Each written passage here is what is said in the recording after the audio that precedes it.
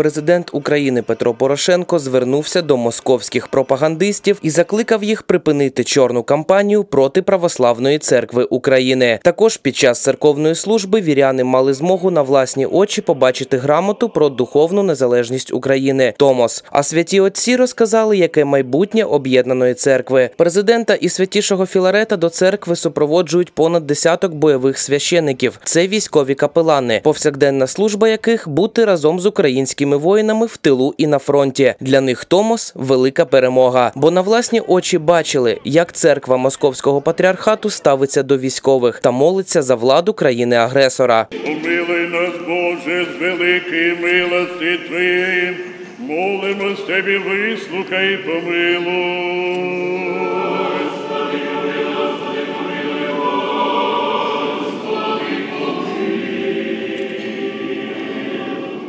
Святіший Філарет дякує українцям за мужність, терпіння і їхні молитви, а президенту за стійкість в досягненні історичної мети. Підкреслює, мета молодої української церкви укріпитися і досягти статусу патріархату. Ми обов'язково об'єднаємось.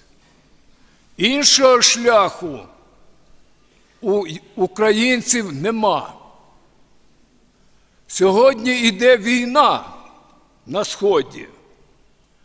І тому ті брати наші, які не хочуть поки що об'єднуватися з нами, сподіваються на силу Москви.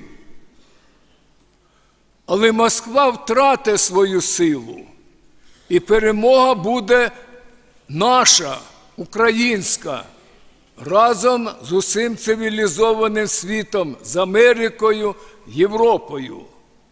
Ми не одні.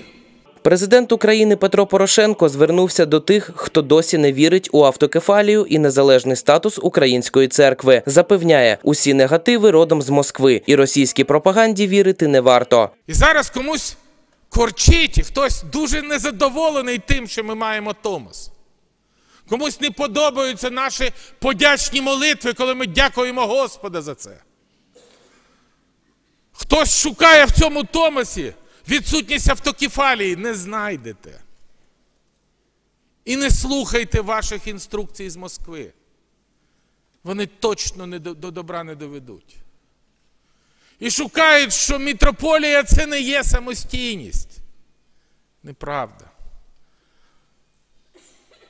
Моя порада. Сходіть до Православної церкви України. Покайтеся. Сходіть на сповідь. Причаститься. Воно точно попустить. І буде легше вам. Президент наголосив, що нині відбувається процес державотворення, і церква є духовним фундаментом незалежності української держави. Зараз Україна робить лише перші кроки, але самостійно та за підтримкою усього православного світу. Антон Воробйов, Олег Заєць, Кременчуцькі новини.